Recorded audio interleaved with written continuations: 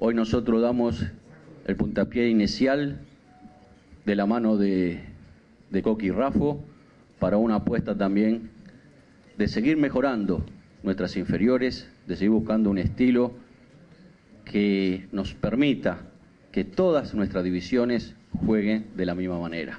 Y el hecho de, que ellos nos hayan permitido que podamos eh, reproducir cómo el Fútbol Club Barcelona enseñaba a los chicos catalanes, nosotros lo que hemos hecho ha sido brindárselo a 300 chicos aquí en Argentina. Hoy esa metodología va a ser aplicada a los 200 excelentes jugadores que Boca tiene en todas sus divisiones inferiores. Y estoy seguro que el fútbol no deja de ser la, parte más importante, no deja de ser la característica de los futbolistas.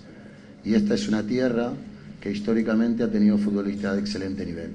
Por lo tanto, una, una excelente, excelente futbolista con excelente metodología debería tener un éxito seguro.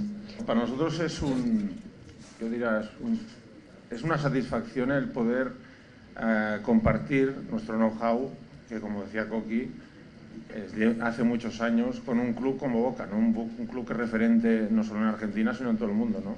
Para nosotros es muy importante que el modelo que nosotros llevamos trabajando tanto tiempo pueda ser, eh, digamos, aprovechado o compartido por clubes como, como el de hoy. ¿no?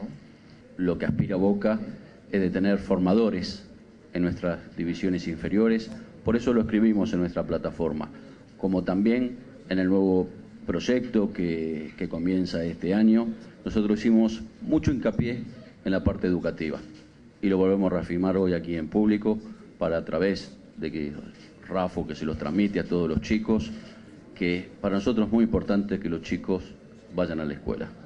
El jugador que no cumple con sus obligaciones escolares, cuando llega el día sábado o domingo para jugar, no va a jugar, porque el compromiso que hemos asumido con todos los socios es no solamente formar jugadores deportivamente, sino también ayudarlo a crecer como seres humanos y que se eduquen y que se formen.